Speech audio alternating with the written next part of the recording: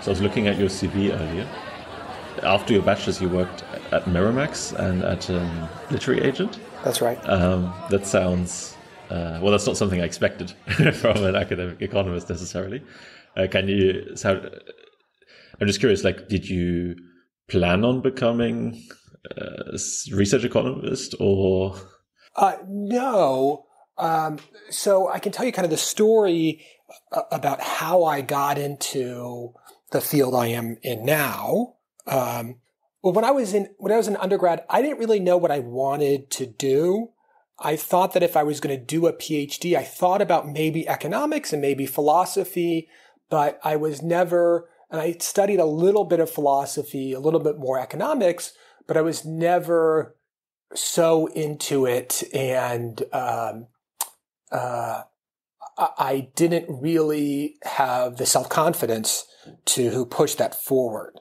But I was a, a, a big, I've always been a big, um, at least in my youth, I was a really big fiction reader. Um, and I was even more so into film. And so when I graduated from undergrad, I th- said to myself, well, this is the time in my life where, um, you know, I could try things and see if it is right for me.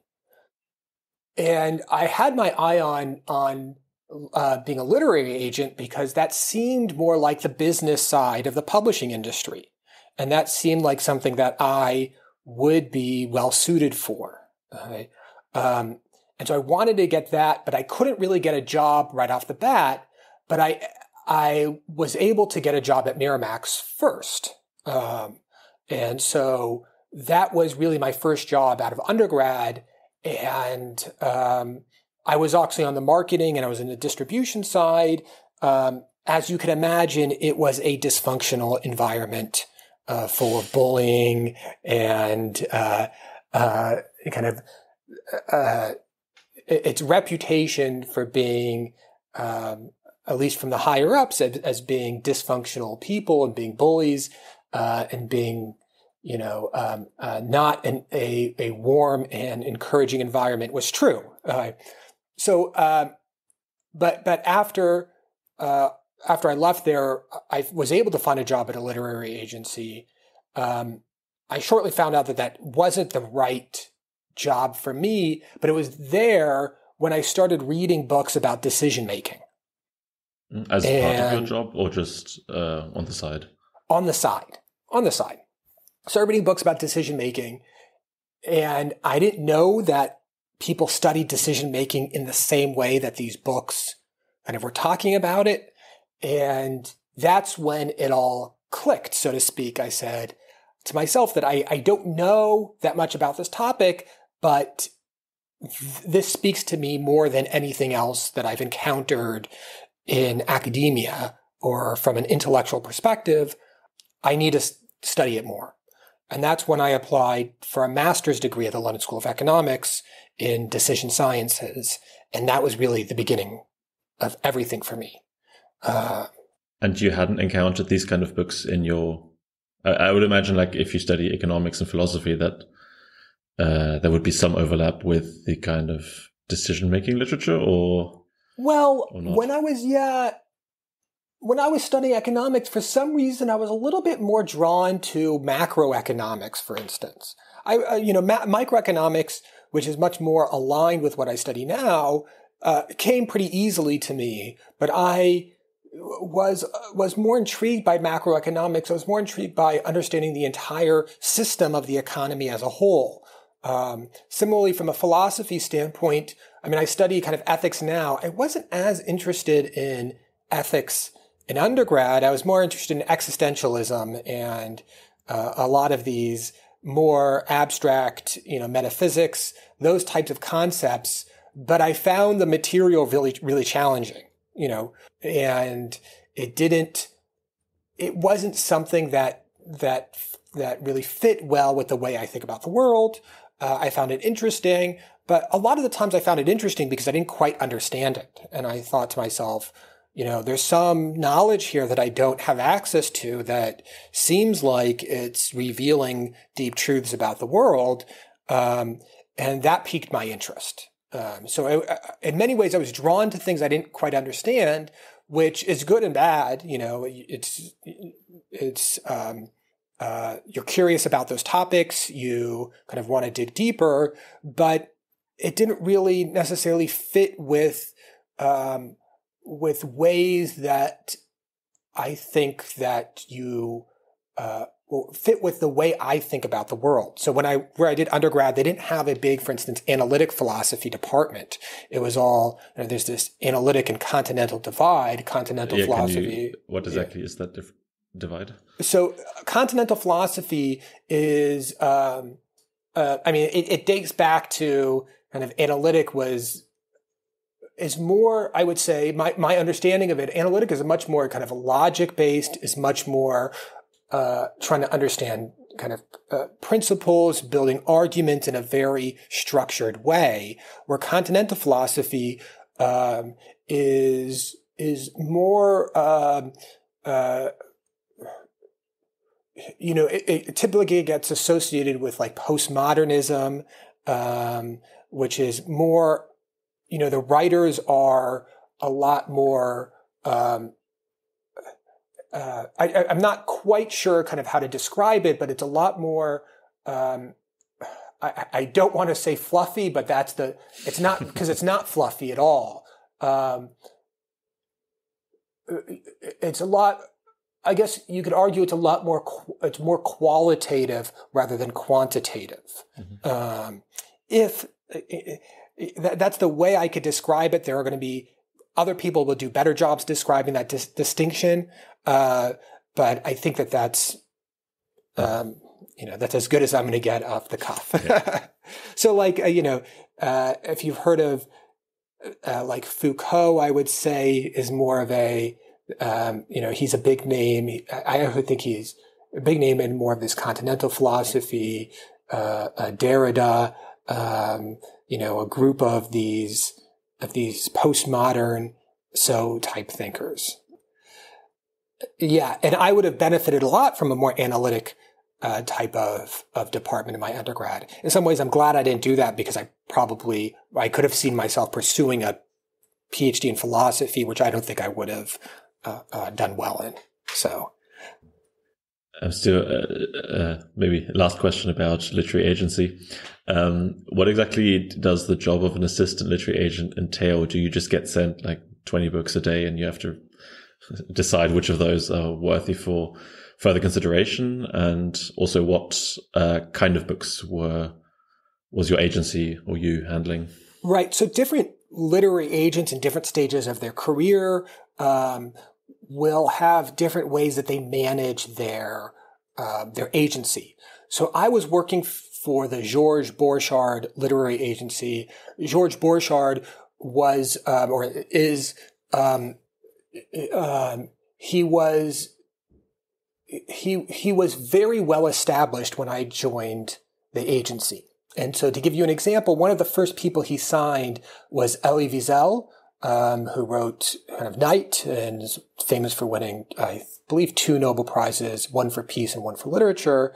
Um, and um, and Georges Borchardt uh, is French, and he moved to America, and he kind of got his start representing a lot of French writers in America. All right. So basically, 95% of any French writer you could think of that is big enough to be well uh, uh, translated in the United States, he probably represented them. And then he started representing his, his own people. And he is in what they call kind of the literary, uh, uh more, the literary um, fiction and literary nonfiction world. So what do we, what do I mean by that? These are what you can consider to be um, they're not niche books and that it's not like he's doing cookbooks. It's not like he's doing pop science books or it's not like he's doing self-help books. He's doing very literary, representing very literary, literary authors, the type of authors who, you know, win uh, Pulitzer prizes, national book awards, and so on. So he had multiple, uh, um, you, you know, every year you know, he may have a couple people nominated for one of those, those prizes. Small family organization. And I just had a variety of tasks that I would do. Sometimes I would read, he wasn't t- accepting um, new manuscripts. So it wasn't like we were reading, you know, 20 b- books a month, but occasionally I would get one to read to see if it was um, publishable. He wasn't accepting new clients. You know, the more, the younger you are, the more you're accepting new clients, the more you're reading a lot. Um, rather, I, you know, I was, I did a little bit of the accounts. I did, for instance, uh, audiobooks. You know, I would try to negotiate those contracts, try to get those contracts set, um, and just manage the relationships. Um, the literary agent is really kind of the go between between the writer and the publisher. And so you manage those contracts, you manage the relationships, uh, very much, uh, uh, uh, you know, in addition to trying to dealing with all the money matters, you're dealing with the relationship matters as well. But how it, it sounds to me like it was it's a very established it, when you were there it was a very established literary agency already. So how did you get that with? Well, I don't know what you did before, but it seems like you don't have anything that's particularly what I would assume is relevant work experience, or, or did you? Right. So the one aspect of my background I left out is yeah, because I knew I wanted to get into the literary world, I took this summer publishing course at Columbia University, kind of a, a short course that's kind of a primer for people who want to get into the publishing industry. Um, mm-hmm. And, uh, uh, and then I just sent out, uh, kind of my CV, sent out letters to a variety of people. And luckily he, they needed someone and they responded and everything worked out quite well. You know, it was almost a stroke of luck that I sent them a letter um, the time that they needed to hire someone. Uh, I, see. I see. So, um, and I think because I did that course, they were that that was like a signal to to at least interview me among the other resumes that they had been receiving. And I, I could imagine also that many resumes they would have been receiving would have been more of the literary kind where people studied English or something. But I guess Right. From what you described, that is maybe not even what they needed that much, right? Because they weren't, they didn't have to assess lots of new books all the time. Right. I mean, I think that they, you know, having an English background suggests that you're passionate about yeah. uh, the literary world. Um, and, uh, you know, they also, I think, needed someone to do the accounts. And so having an econ background, that was uh, uh, something that I could do. Uh, it was a wonderful place to work, just for instance, because they were so kind of traditional we we used typewriters to type up all our correspondence. And so, so this was in 2004 to 2006, just for right. context. Uh, yeah, yeah, yeah. Uh, back when no one was really using typewriters anymore, that was just like a pure joy. You know, you type up these correspondences and then you wrap up a manuscript. You know, um, we weren't tying little ribbons on it, but it was almost like that. And like sealing uh, it with wax. Yeah, yeah, yeah, yeah. Um, um, so uh, I had a I had a great time there, uh, but but it was also a good experience for me to realize that this is not. Um, uh, I didn't have I didn't have the let's say the client relationship skills at that time to to go out on my own and say I'm going to really start uh, my own uh, uh, li- literary agency or literary career um, I always felt I was on the outside of the publishing world looking in, and you really need to kind of force your way in to start trying to get clients and represent them. Um, yeah. So uh, uh, it was a great experience, and it's a great experience because you know it was one of these things that you you learn not to do. Um, you try it out, and and I tried out, and I realized quickly that that wasn't a long term career strategy for me. Yeah, I find that's in many cases almost the most important thing to learn. Right. Like just having those kind of restrictions, like this is what I don't, what I'm not going to do. Right. Right. Um, yeah. But, uh, so then you kind of left just that kind of behind the literary scene. Um, or you still reading lots of novels or? Well, I'm uh, still, I, I'm still a curious guy, you know, um, I've, as is, I think is, as I think, I mean, I, my, my lay theory is that this is true this is a general phenomenon as, as you get older, you get more interested in nonfiction. Uh, I don't know if, I don't know how general that is, but that's my, my intuition. I still read a lot of fiction, but and maybe because of what I do now, um, I started reading a lot more nonfiction. And um, there was a period of time, and I think that this is true for a lot of academics during your PhD, uh, during your young career, you just feel like you don't have time for books. Uh, and, uh, you know, may as well read a paper. And a lot of times, nonfiction books, the introduction or the first few chapters tells you the whole story.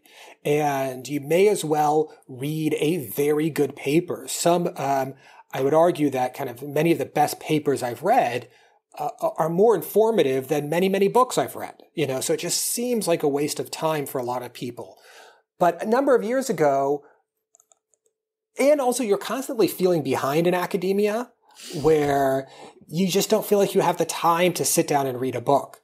Um, a number of years ago, I decided, you know what? I have more time than I think I have.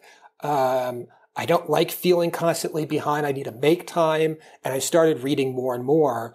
And that has just been, in some sense, it's been useful to one, my self confidence as an academic. That's something a lot of academics struggle with, uh, kind of imposter syndrome. One, to kind of expand my horizons and topics that I find interesting, um, but didn't have that much uh, knowledge about.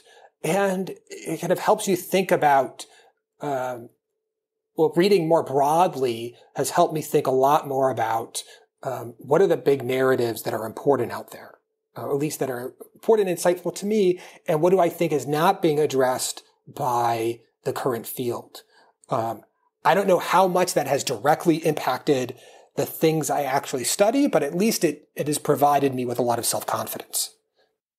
But how self confidence? Just because you have a broader perspective, or what, how does the self confidence play in there? Right. Just uh, because I have a, I think it's because I have a, a deeper perspective on broad topics. You know, um, uh,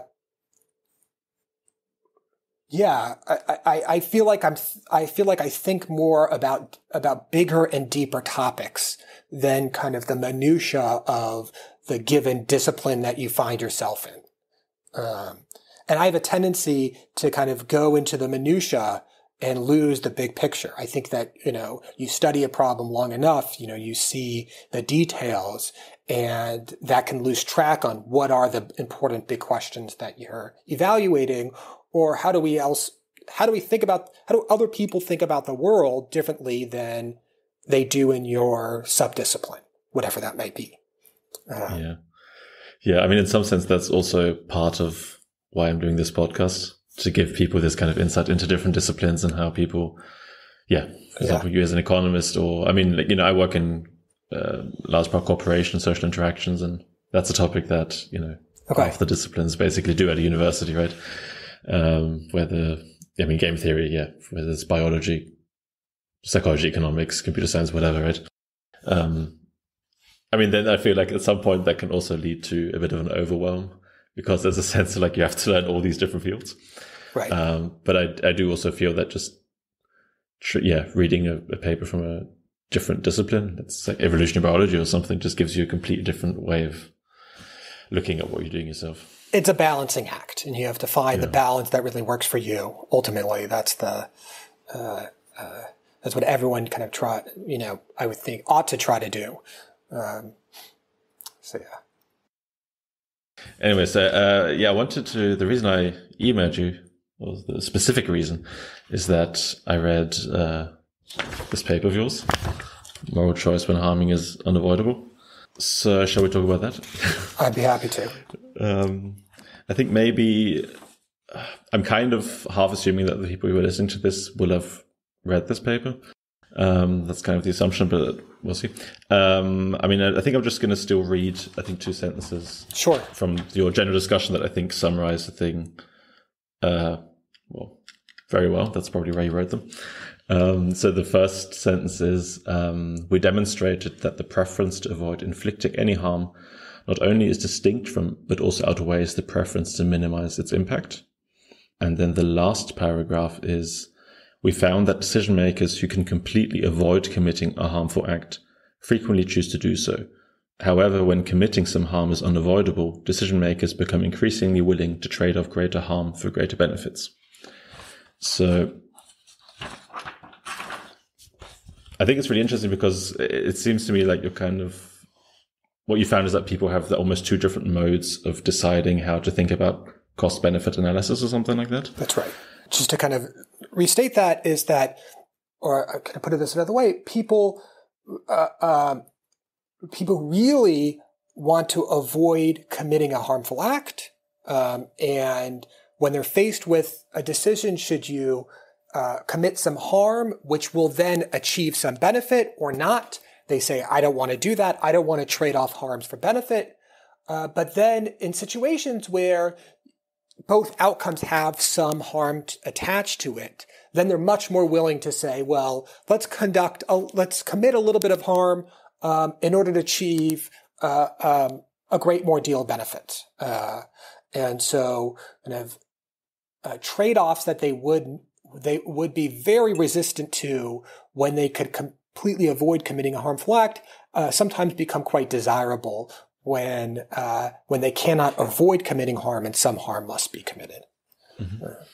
Yeah, and so I mean, you we understand this paper is is a paper that shows an effect, right? There's um, no explanation of like why this exists. It's more like this effect exists. We've tested it in a few different contexts, and um, well, we we yeah. yeah we make the argument that really what this is all about is um, is very consistent with, with what some other researchers have showed in the past is that people are very reluctant to, to commit a harmful act.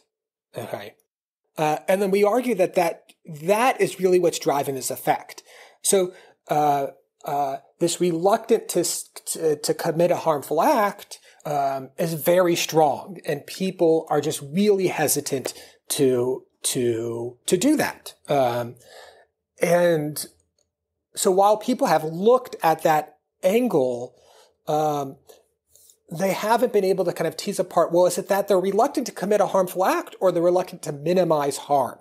And if they're, you know, so there's that kind of distinction that hasn't really been uh, separated. People talk a lot about harm aversion, that people are harm averse.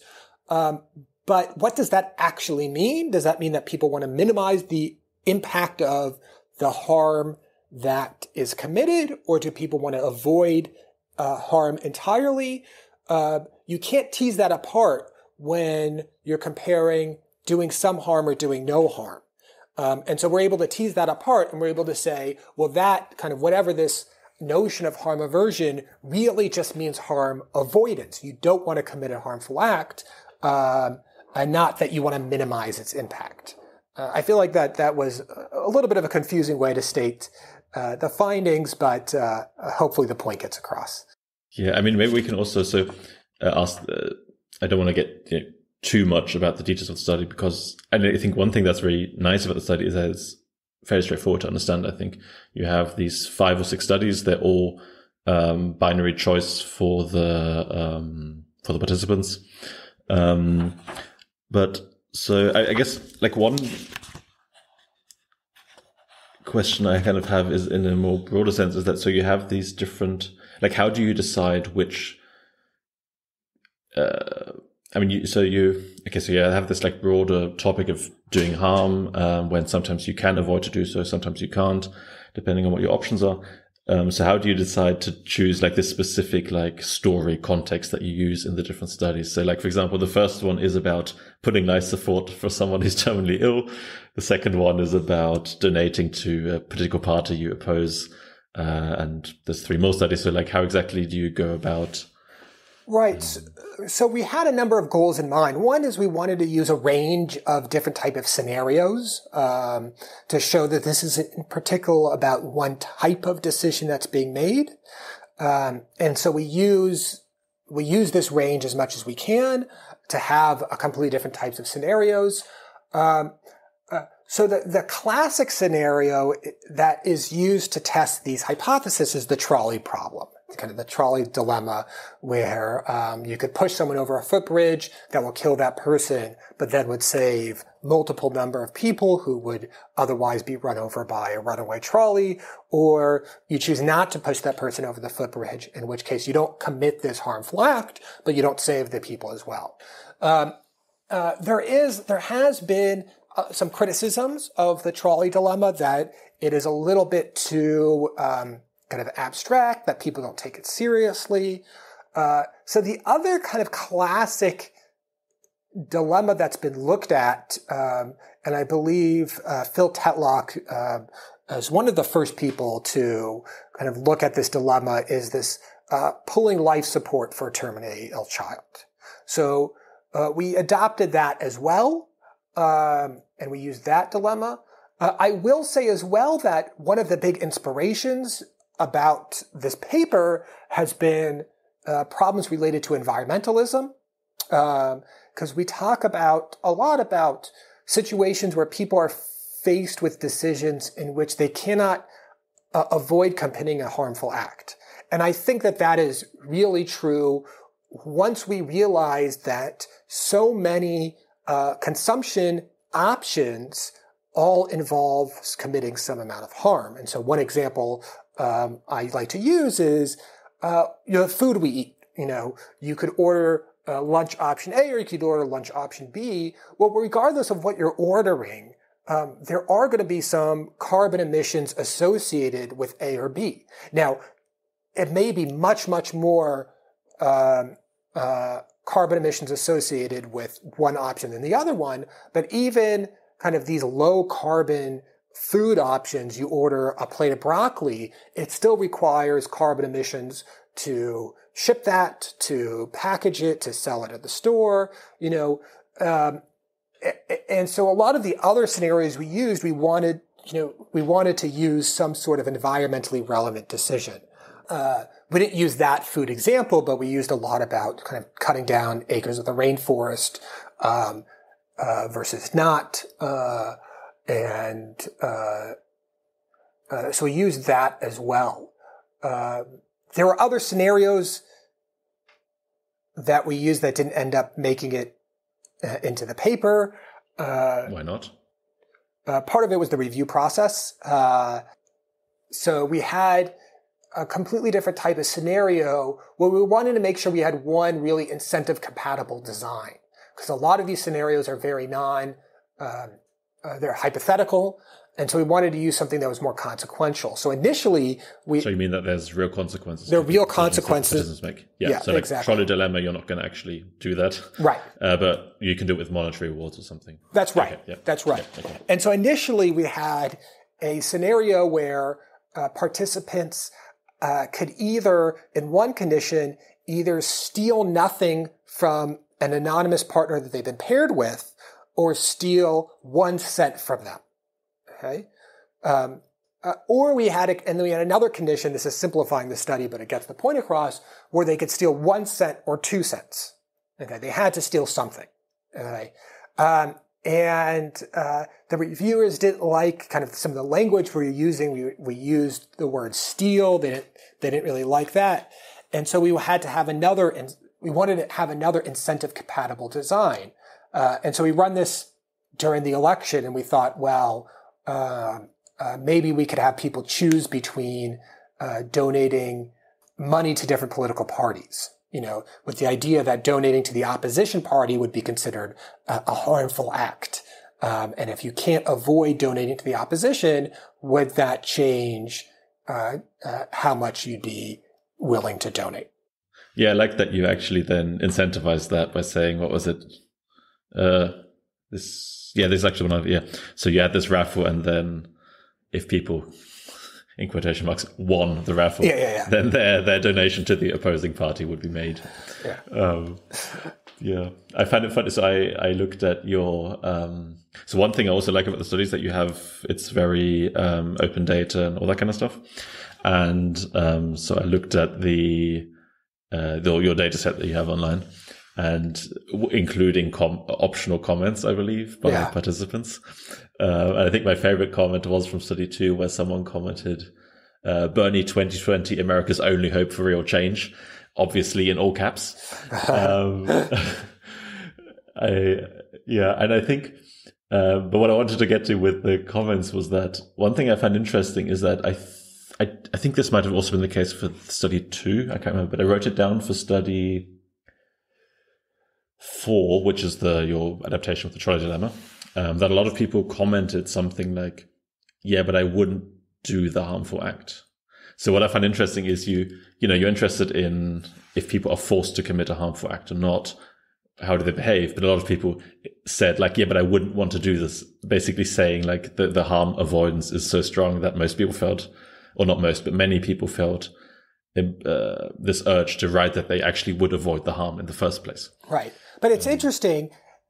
Uh, so the trolley dilemma, we compare people either pushing zero, one person off the bridge or pushing one or two people off the bridge. Uh, and the, the people who had the option between one or two people, a lot of them picked two people. You know, they want to push off two people because they would save that much more people, but that they write, well, I wouldn't do this, you know, which is a little peculiar. Well, if you wouldn't do this, then why are you pushing two people off the bridge? Um, it got me interested in thinking about how, if you were given three options, no people, one person, two people, with varying um, live saved in accordance, how would people rank these options? Would they rank, I think a lot of people would rank no people, but then would they rank two people ahead of one or one person ahead of two? Uh, given the, given the, I should say, um, what I don't want to get across is that, um, you know, there's a different amount of lives being saved when you push one person over two people in the scenario that is meaningful. Um, and and so I don't know how people respond to that. That's kind of one one open question that is is is quite. Well, you didn't do that in the paper, right? No, we didn't do that in the yeah. paper. Uh, but it's something that it's kind of been in the back of my mind, thinking, well, maybe this is something I ought to follow up on. Um, mm-hmm. uh, do you have any follow ups planned, or? I have vague ideas of of of additional questions to study. Um, that's one of them. How do people rank uh, these options and how consistent are they in between ranking the options and choosing between two options? Um, and so, um, so I'm not, I'm not quite sure. that hasn't crystallized in my mind yet.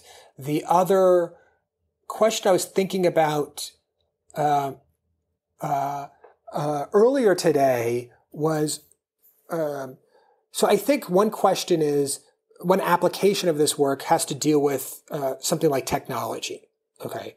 So if we think about a new technology that's introduced, um, let's just say uh, at some point in time, okay, I'm going to take uh, uh, uh, take a very kind of toy example. Let's just say plastic surgery. Okay, plastic surgery wasn't a thing or it was being developed, and now let's say there are very good new methods of plastic surgery uh, you can imagine some people saying, well, we shouldn't use this at all. You know, people are very reluctant to introduce this new technology because they see kind of, well, if we introduce this, you know, people are going to then change their appearance in ways that, you know, I find objectionable. Uh, and so in the question of should we allow plastic surgery, yes or no, uh, I think a lot of people would say, would say when it was introduced, may have said no. Okay. But then you say, well, um, well, what about people who are severely disfigured? They get into a car accident or they have severe burns. Um, and now you say, well, that seems like a reasonable case. Okay. Like an exception almost. An exceptional. And so you, so you say, we'll allow that. And now that that's been allowed, okay, once that's allowed, are they more willing to accept plastic surgery for other cases as well? Okay. And so that's, there's something there that's a little bit synonymous. It's kind of once, uh, once something has been, has been, if you are very anti this new technology, once it is used for something, are you much more willing to use it for other things as well? Uh, so is that the basically the slippery slope? Um... It is a slippery slope type of explanation. I'm not sure if it's been framed in uh, uh, the exact same way as that I've been doing. But that is the kind of same idea, right? It's the same idea. It's much more of a, yeah. And I think that there is a slippery slope aspect to, to, in some ways, I think what we've done can uncover some of the mechanisms behind that slippery slope thinking. Uh, I see. Yeah. Yeah. I was uh, also when earlier when you mentioned um, environmentalism uh, as one like context um, that you were interested in, it also occurred to me that it's kind of interesting because I've never, I feel like when the discussion is, for example, whether people should eat meat or not or how much, it's never said, it's never framed in terms of how much damage you have to cause, right? It's always in terms of how much you can save. So what I find interesting is that actually the way you said it was the first time where I heard the, the framing of not something versus nothing. Uh, but in your case, I heard it as something versus more of something else. So that, that's just something that just occurred to me then that the framing of just how you talk about these things should probably have a huge effect on how it's then perceived, right? Right. And you can imagine, um, I think that that's kind of a complicated question because our instinct, uh, as you say, is to, to frame something in terms of, um, either how much harm can you reduce by choosing one option or the other, or you dichotomize it. You say, well, eating meat is environmentally harmful. Eating everything else is fine. You know, harmful versus not harmful. Uh, and in some ways, that seems like a very nice framing if you want to um, enact a change, which could then say, well, I'm, you know, cause people to reduce the amount of harm that is caused. Um, but in, in another way, um, you could imagine that kind of obfuscating the obfuscating the reality. Um, and so um, a lot of people are very sensitive to certain environmental behaviors that have very little impact. You know, they don't they don't consider well how much um, how much is this actually changing? Uh, how much if we kind of went through and did this behavior, you know, the classic example of late is uh, uh, the plastic straws. There's been this movement to eliminate plastic straws, which, yes, you know, eliminating plastic straws is better for the environment than not, but it is very insensitive to the amount of good and harm being done. Um, maybe there is uh, if you're a greater sensitivity to the amount of good and harm in being done, maybe we could focus our attention on other things that would actually have a bigger impact. Let's say by um, uh, uh, uh, flying less or uh, using more fuel efficient automobiles. You know. Um, yeah. Yeah, but it seems to me that um, from what you said, I mean, is that maybe why people are using this kind of framing? Because it seems to be because people are using this framing in terms of well, if you you know, do this, then that's bad for the environment versus this other alternative is not bad for the environment. So then you force people basically into, uh, I can't remember what the right terminology is now, but this one way of, um, thinking. Whereas if they were to frame it in the other way, then people would probably act quite differently based on right. So suggestions, right? Yeah, yeah, yeah. Uh, uh, I mean, very much thinking in absolutist terms is is typically very good for behavior change. Any type of behavior, it's much more easy to uh, to reduce your sugar intake if you eliminate sugar entirely than you say, well, you know, I'll cut down my sugar in half. Um, and I think it's similarly true for a lot of these moral behaviors. It's much more easy to kind of completely change a behavior uh, if you're much more absolutist about it. Uh, and so I, I do think that there are some, um, there are some advantages to that absolutist mentality, but I also think that, that there are situations where it can be, uh, uh, less than ideal, you know, uh, in thinking about these things. Um, what would be an example? So, uh, the example I'm thinking about is, and this is not a perfect example, but, um, uh, let, us just say uh, ordering ordering items from Amazon. Okay, and so the question is, well, is Amazon good or bad for the environment? Well, a lot of people's intuition is that Amazon is very bad for the environment um, because uh, they ship things in cardboard boxes. Okay. Uh, and that is unnecessary. If I went to the store, I wouldn't have to buy, I wouldn't have this, this, this waste. And so the, the mindset is, well, Amazon does harm, going to the store does not. Uh, but going to the store does do harm. You often have to drive to the store, which we, you know, releases uh, carbon emissions if you're uh, uh, not using, you know, if you're not riding your bike or walking, and a lot of people do do that. And um, Amazon can deliver these things more efficiently.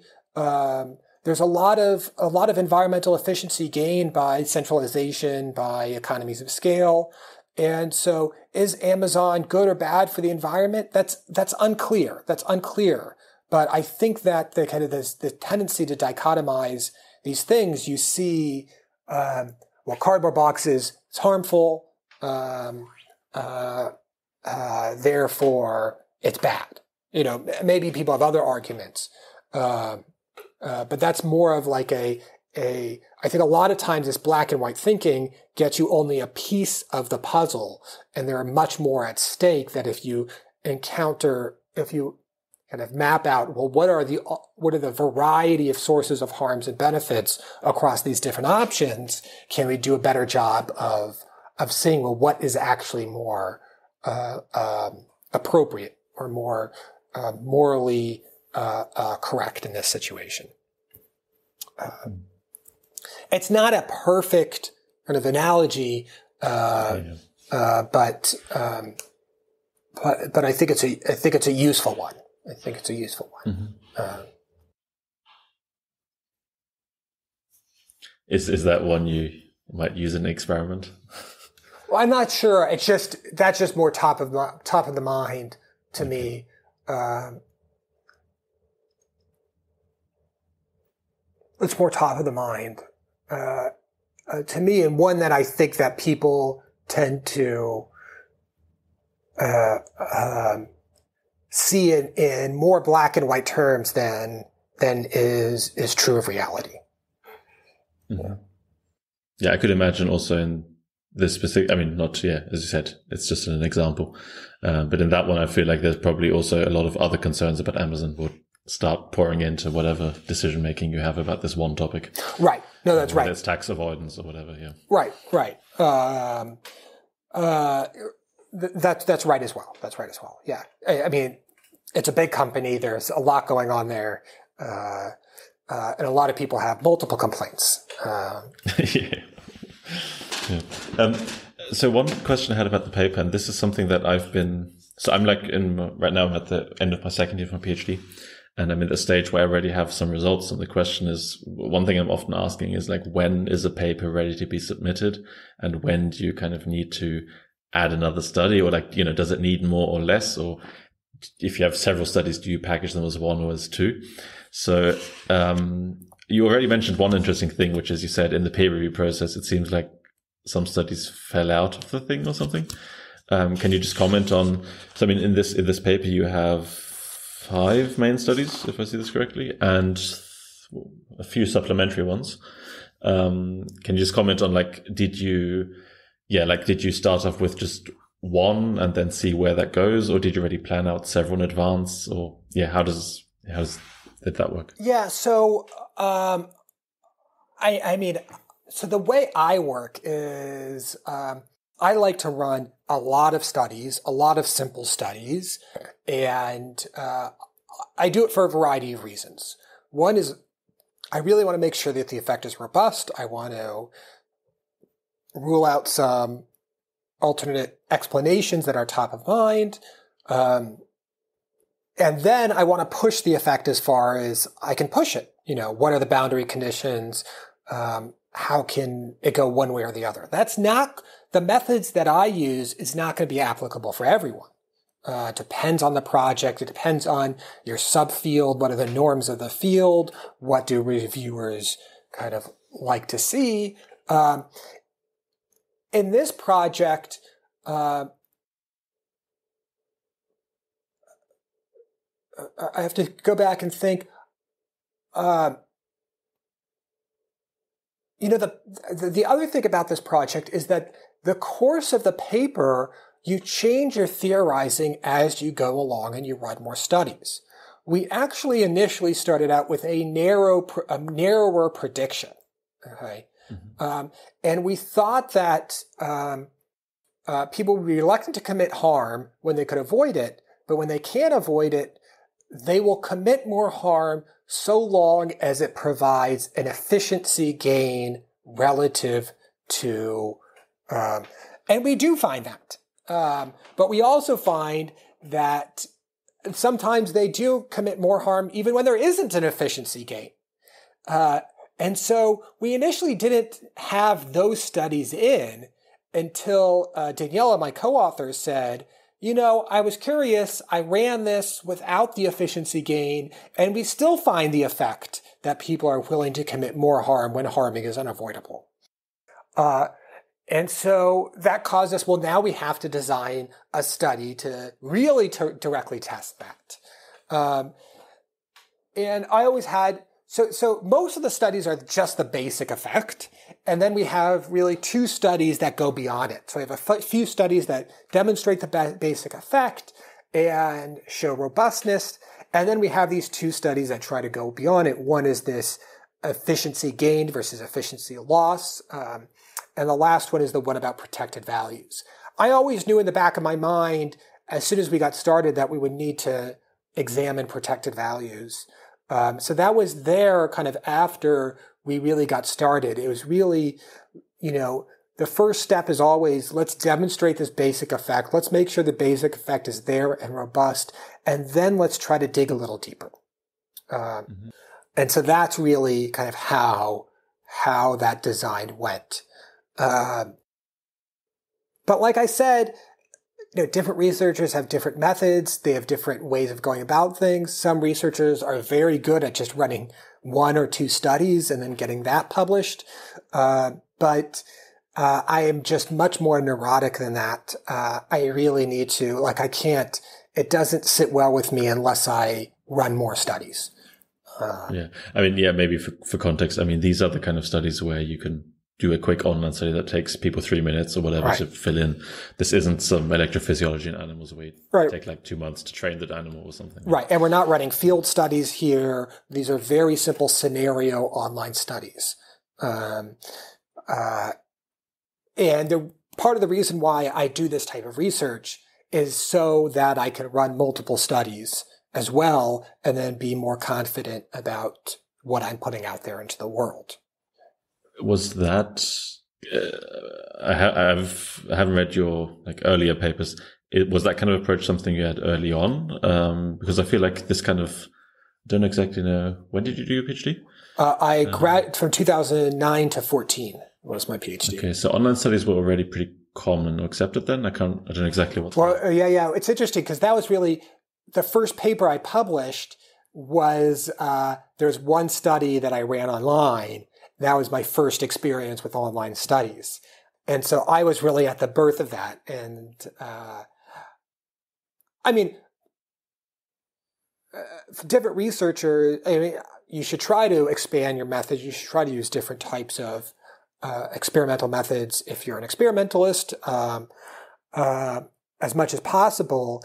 Uh, and this is more of a triangulation between, you know, the type of research I like to do, in terms of methods and also uh, kind of findings as well. You know, um, I do a lot of person perception work. How do we think about others? And that lends itself very well to scenario studies too. Um, and so it's really a marriage between the topics and your your preferred or what you feel is the best method to study that. Uh, yeah, yeah. Um, yeah, I think I should also do more studies like this. well, it, for me, the data data analysis is always the most boring part for me. So it's, oh, I spend too much yeah. time programming right now.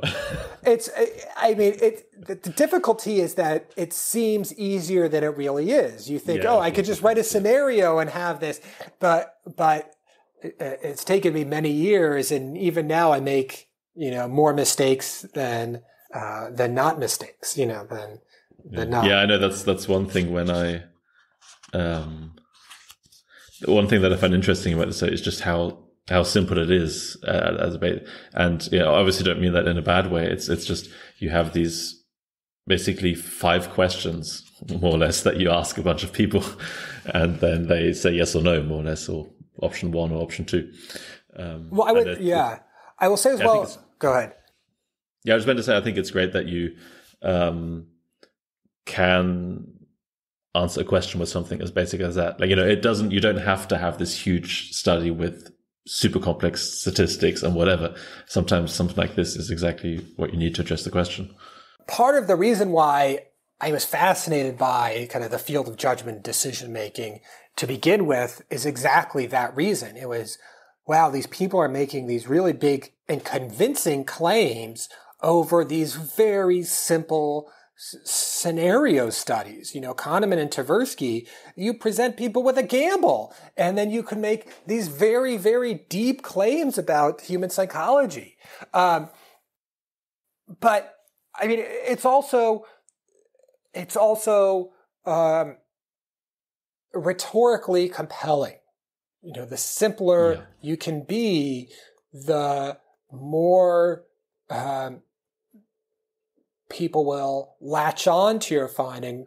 Um, it's this it's this kind of a little bit of a tension between the fear from the experimentalist from the researcher is always like I don't want to oversimplify this because then people won't think it's that that interesting. Um, but that's I think is a much bigger fear than is typically met in reality. Um, and that if you have something interesting, if you have something that you think is interesting, that you're convinced is interesting, simplify, simplify, simplify. That's always better. So you didn't get any criticism that this was too simple or, or something like that, or that you, in the review process or something like that? No. If, uh, and in fact, and I'll read you uh, uh, something from our initial uh, review. Mm-hmm. Um, let me just see if I could find it. Uh, uh, I may not be able to find it, but mm-hmm. um, basically, in the initial review we got was this notion, this this um, this idea that the editor and the associate editor was like, this is one of these simple distinctions that is meaningful you know, it's a simple distinction that is meaningful. And in some sense, some senses that's. So you mean the distinction between avoidable harm and unavoidable harm? Right, right. Yeah, okay. Um, uh, in some sense, that's what you want, you know. It's a, it's something that is simple, but still meaningful. Yeah. So what, so one thing that relates to this that I wanted to ask is that, um, so one kind of, how should we say, general, uh, let's say conflict almost that I have in my own research is that I'm, I'm really trying to, so I come from psychology, um, but I'm reading a lot of evolution biology or economics or whatever, which is, which, you know, often relies on formal models to make these kind of claims. And one kind of real struggle I have is like to figure out when a formal model is appropriate and when it's, uh, maybe unnecessary or something or, or not uh, the, the, research area isn't ready yet for a formal model or something mm. like that. And th- I was just curious how you thought about this because you, you know, have a background from in economics, which is much more, you know, maths heavy, let's say. Um, but then the study is, I mean, well, not at all that, right? So I was just curious how you how you think about this, this, yeah, when to use it, when not, or whether you considered using it for this paper or. Right. So even though I have some background in economics, I um, I've I very much now consider myself a psychologist, um, and I never really learned to write formal models. Um, and uh, my kind of view on this is that um, it, so, so, some people they think better in formal models. You write a model, that's how they understand what's going on. Um, for some people, it's it's you know gibberish to them. Um, um, so one, it depends on kind of the audience you want to reach. Um, and if you can do both, that's great. I don't see any harm in that, uh, particularly if you could do that well. Um, and uh, uh, uh, what you think better expresses your idea, um, your theorizing. Um, the, I'm certainly in some of my work, a formal model could be written, uh, but I just don't think I needed that for for for the papers. Um, so that's you know much more. I would say one of a question of what you believe better expresses your theorizing or idea, and uh, two, who your audience is. You know, it's a combination of, of both of those. Um, what audience do you want to reach as well? Um, and there's uh, there's a good amount of psychologists who rely on formal models as well. You know, um, uh, so I don't have strong opinions. as is uh, is my way of uh, of getting to that? Yeah. Yeah, I think part of uh, you answered part of a false assumption I had. So I get, I think also because you're at a business school, mm-hmm. Um, and I, so I don't really know what a marketing department exactly is, or what, what, marketing, because you know it always sounds like advertising, but I'm sure it's not that. Um, so my assumption was also still that you um, would consider yourself more an economist or something like that, and that would be more your primary audience. So one question I actually had was also like why submit to psychology journal, but I guess you answered it. You consider yourself right. a psychologist. Yeah. So uh, marketing is this weird department as well. Um, that there are different there are different kind of camps in marketing, and it's very specialized. Um, um, there are people who are much much more economics heavy and basically do ec- applied economics um, or statistics heavy, and they do applied statistics. Um, whereas the the the camp that I associate myself is much more psychology uh, or or psychology, and even in some sense, sometimes sociology, sometimes anthropology um, uh, driven as well. Um, yeah, yeah. The first one of the first things you teach students as they enter the marketing classes, the marketing is not advertising. um, yeah. uh, but why? What is it then? So why? Or why is it? Why is it confused with it? Well, well marketing we consider to be um, about you know, a simple way to define it is the creation and communication of, of, of value, of consumer value. Okay. Mm-hmm. Uh, and so, uh, marketing encompasses advertising as one of that. That's the communication of value. Uh, but marketing is also kind of changing your product to meet the needs of consumers. It's it's as one of uh, one of my colleagues, uh, Oded Koenigsberg, says. It's the interface between the company and the consumer. What is the consumer? So you're trying to figure out what does the consumer want, what do they need, and how can we change our product offerings to meet the needs of those consumers um, in order to create long-term uh, long-term value. Um, so yeah, it's what what is the, what it, what is the product? Who are we going to target? What do these target customers want in a product? Uh, what price are you going to charge? That's a marketing question as well. Um, not just in terms of, um, it, you know, what price can we charge? Um, where do we distribute this product? Uh, we consider this, we consider these questions all to be marketing questions. Um, whereas something like operations is much more about uh, once you've decided, or how can you, how do you go about distributing your product? Right? Um, yes, it's tied to where you distribute it to make it more cost effective, but but marketing is interested in well, we need to put the product where the consumer shops. We need to figure out that question. Um, mm-hmm. so then, how does a paper on moral decision making because this is then very you know what most of what you described is fairly applied science right? Right. Whereas what you're doing here is basic uh, moral cognition or however you might want to call it. Right. So um, so the way I, I i the way i kind of associate this with marketing is that um, one uh, the easy way is to say that i study consumer ethics okay? Um, and so it's a question of to what extent uh, are consumers willing to engage in ethical behavior Um, in what situations will they engage in ethical behavior? Uh, how much can we anticipate consumers to engage in this behavior, uh, an ethical or moral behavior? And, um, uh, and so this related to this product project, um, some people kind of define consumption. You know, any consumption activity you engage with is, um, uh, you could argue has some moral implications to it. Um, uh, or at least, you know, uh, some definitions say that consumption is inherently tied to environmental harm. Um, uh, at least in the vast majority of cases. And so, uh, so that's the question that I'm, I'm interested in. Um, that's my question.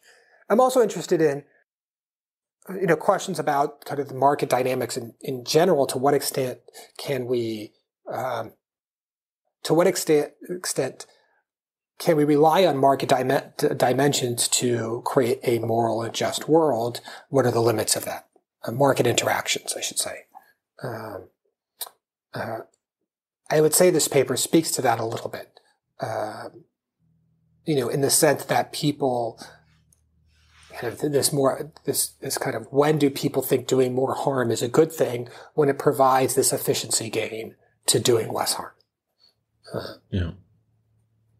Uh, and I think that that relates to our economy very broadly, um, and how people see that. Yeah. But do you plan on also doing more applied studies in the future about this topic also, or? Um...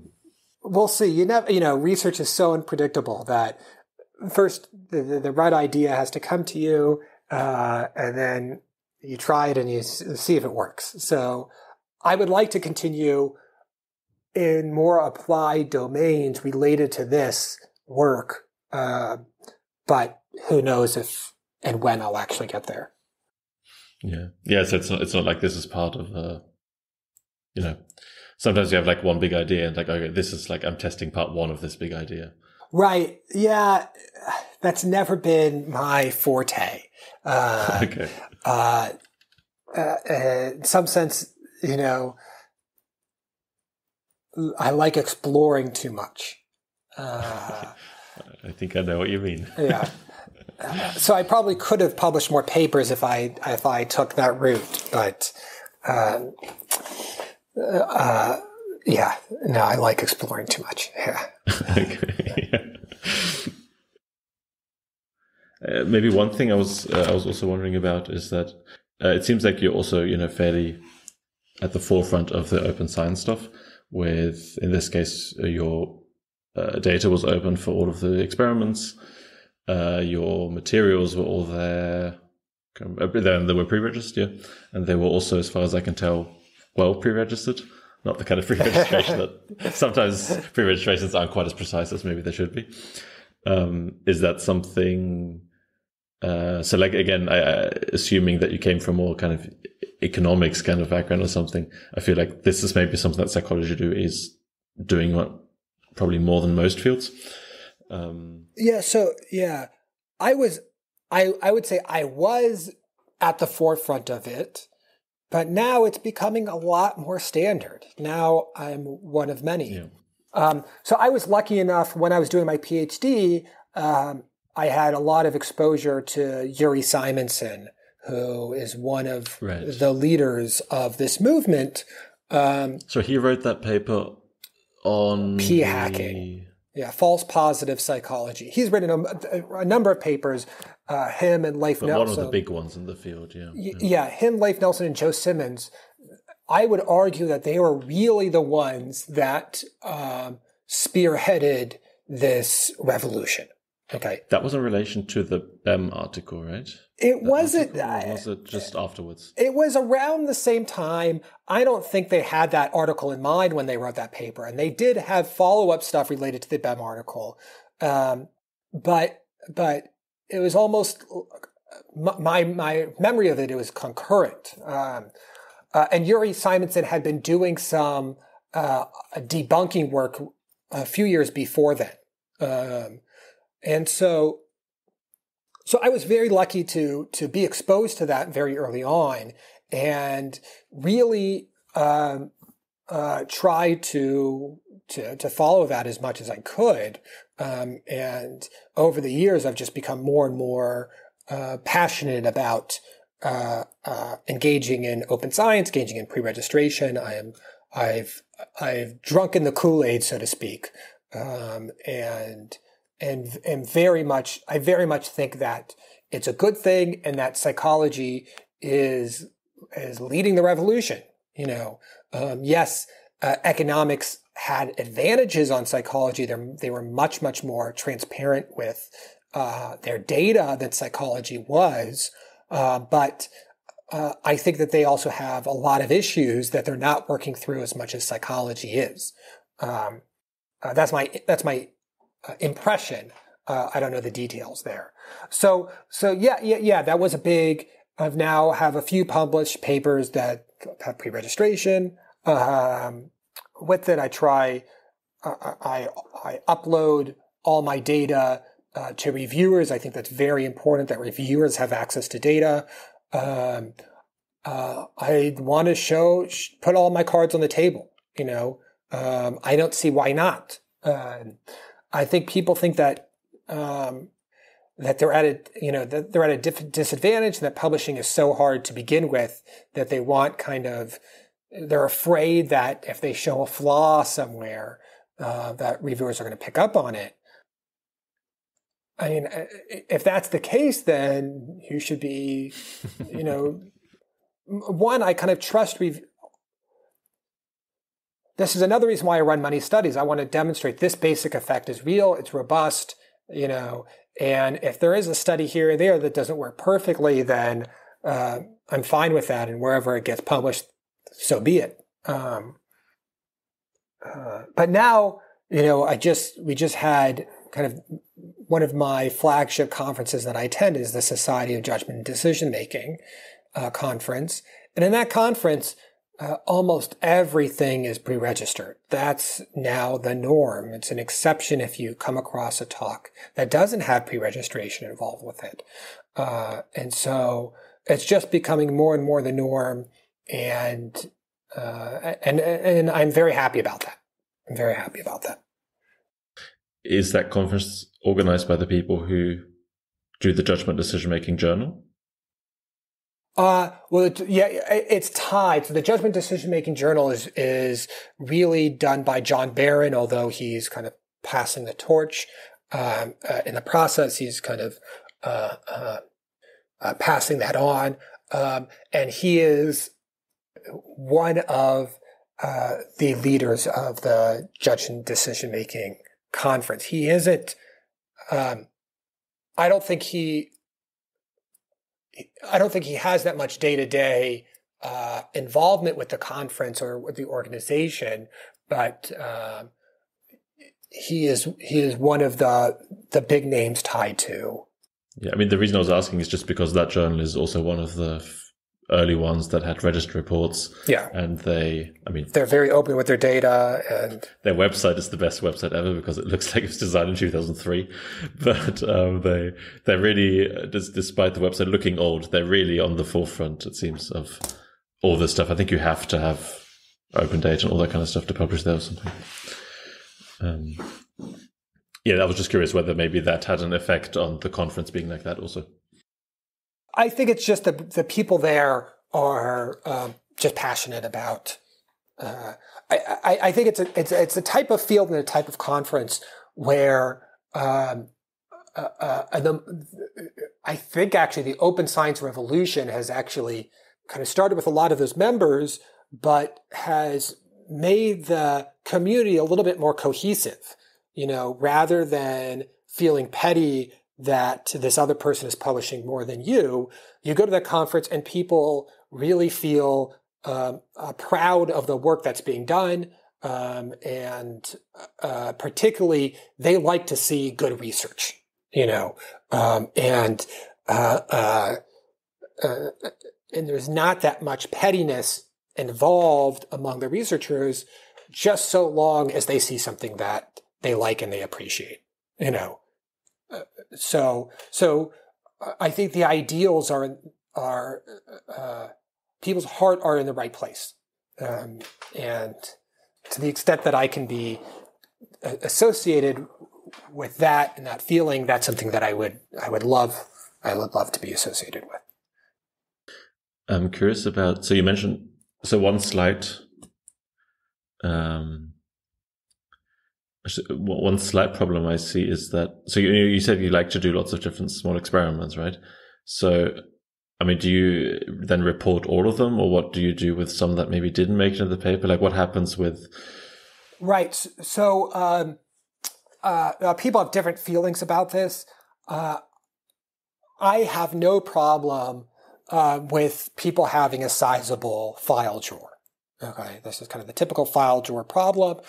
Uh, there are many reasons why I run studies that don't get published. Uh, so one reason is you just didn't design a great study, you know.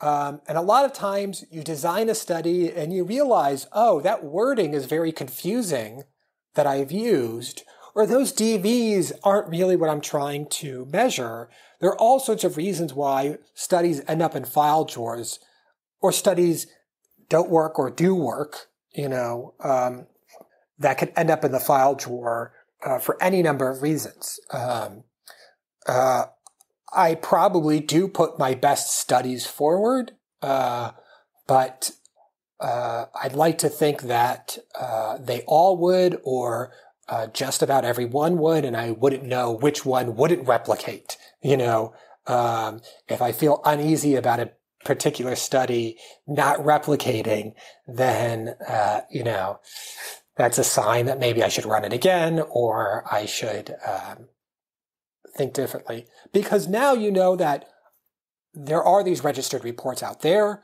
that if you're doing something that you think is impactful, people will try to replicate what you're doing. So, you know, and my studies are very easy to replicate. Um, it, you know, takes uh, uh, not that much money, not that much time to program it. And so, if I'm publishing a study, I want to feel pretty confident that if someone replicates it, it's gonna it's gonna work. Um, but where do you draw the boundary? Maybe so. Let's say you have a study where you, you know, uh, it's just. I'm wondering, like, where do you draw the boundary when you say maybe this study wasn't designed properly? Do you decide that then before you look at the results or after you look at the results? Oh, because it has like say the results are kind of like a bit messy, and then you say, well, maybe it's because of this wording, or like, how do you navigate this kind of field of? Yeah, yeah. I mean, there are always going to be these judgment calls. Um, you know, I often think that there should be like a, um, someone should have a column that's kind of like data ethics, where you write in these kind of questions like, this is what I did, what should I do, you know? Um, uh, so I, I, I tend to think that there are going to be uh, these judgment calls. I think that, you know, the way I think about it is that a lot of times it's clear after the fact what was, um, confusing or what could have been confusing a lot of times. Or there's another confound that you didn't really think about, and you think, well, maybe people are thinking about it this way. Um, you know, these are difficult questions. Um, there's no easy answer to them. But what I don't want, um, you can hear my little uh, baby. yes. Um, what what I don't want is for someone to say, "Well, if you change this wording, your effect goes away, and this wording is a better wording." You know, I don't want the effect to be due to a misunderstanding. Um, and it's another reason to post your materials, to post your scenarios, um, so people can see, oh, uh, there doesn't seem to be a confusion here, or you know, if you, uh, the, the one reason I like pre-registering, I like posting because it causes you to think more deeply about what you're doing.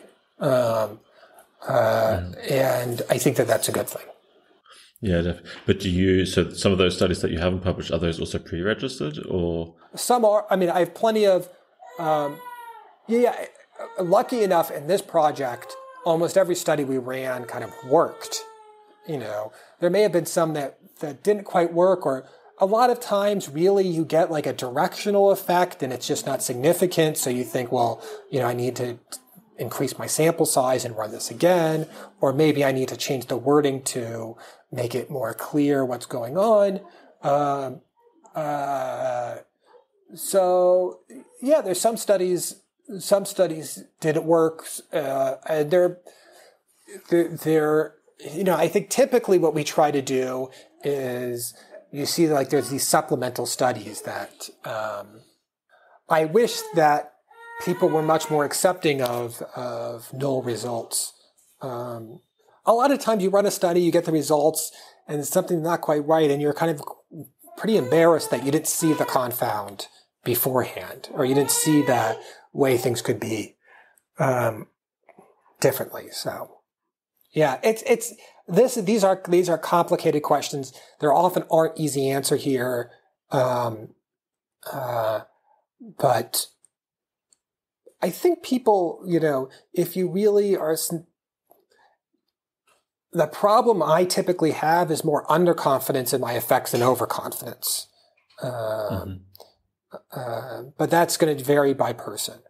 Um, like if I had my way, I would never have submitted any paper I've written because there's always something nagging at me that could be, you know, well, isn't this just due to this, you know, and then you write something, oh, it's not due to that. Well, isn't this just due to this little, you know, um, I think I've now gotten over that, but that was a much bigger problem earlier in my career. Um, yeah. Yeah, I just find it, yeah, I, I mean, like the reason I'm asking this is just because I, you know, like, I like the whole, I think pre-registration is, um, a great idea when used correctly. Um, and, but yeah, it's just sometimes a bit difficult to navigate exactly, um, yeah, when do you pre-register something, and yeah, do you publish everything, or because I think, for example, in, is it an OS? I think so far I've used the you know I, OSF the OSF yeah. for them. I can't remember. Like one of the they're the main one, right? Where yeah yeah, I think I've used their standard template, which is also longer than, for example, what you use with AsPredicted. Um, and I think there they say something that this will be pub or you, I can't remember, but like if you, or was it just for a register report whether you have to say why you didn't publish it? Uh-huh. I can't remember. Uh-huh. I'm a bit confused about the whole thing. There are there are different camps, and uh, with AsPredicted, you, no, no, you don't have to publish it, um, and there are good reasons why you wouldn't publish something. Uh, yeah, and I, I, that's where I stand on that decision. I think it's having a file drawer is perfectly acceptable um, uh, because research is a process.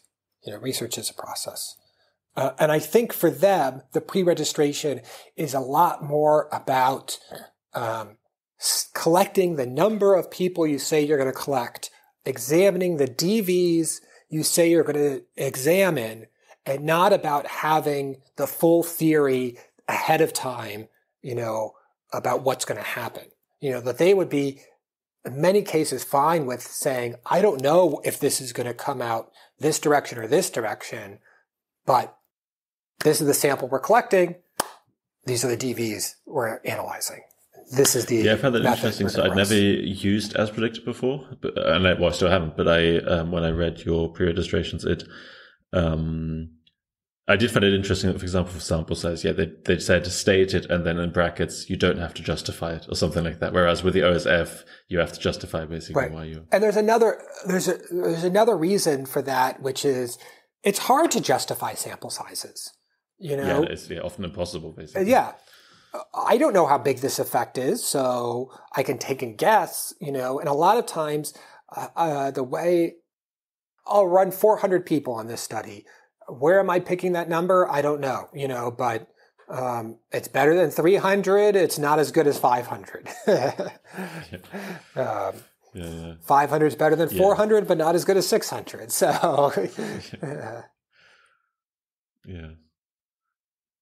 Yeah. And I think, yeah, I mean, yeah, sample size, you know, then you say something like, well, we assume a minimal small effect size of Cohen's D equals 0.3 or something. And that's also just basically arbitrary. I uh, uh, uh, before you study something extensively, uh, uh, I have been wrong about the effect sizes hundred percent of the time. yeah. Uh, so.